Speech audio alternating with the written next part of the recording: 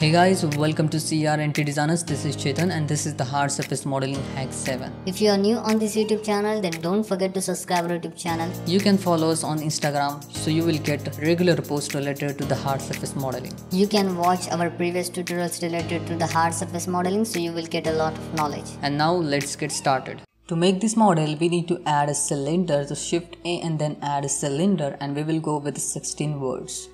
After that, you need to rotate this cylinder into the 90 degree and then scale it along the x-axis. And then go to the edit mode and you need to add a loop cut. So add a loop cut, control R and then add a loop cut and give the right position to your loop cut. After that, you need to use the knife tool to create a slant cut. So select the first point and then select the second point and then press enter to complete that op operation. So in this way you can use the knife tool to create that slant cut. Then you can see we have created that slant cut and select everything and press M and merge by distance so we can merge the double verts. Then select this edge loop and double tap G for the edge slide. After that you need to select the faces and we need to create here one segment so right click and then connect vertex path and then you can select these verts and then delete them select these verts and then delete them okay now you can select everything and press M merge by distance and then select this edge loop and press F to fill the gap. You need to add the verts at the center and you need to create quad based topology. So just select the verts right click and then connect vertex path after select these faces and press I for the inset operation. And then just delete that face.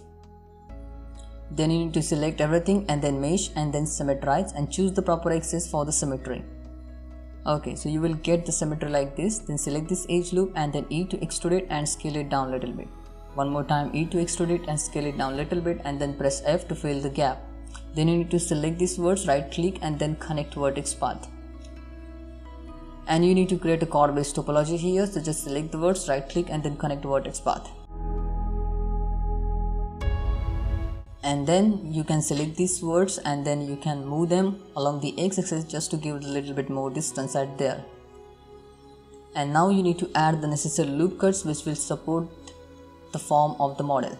And you need to add the subdivision surface modifier and increase its level up to 2 now you can see it's look decent and just add necessary loop cuts on the model so we will get a decent form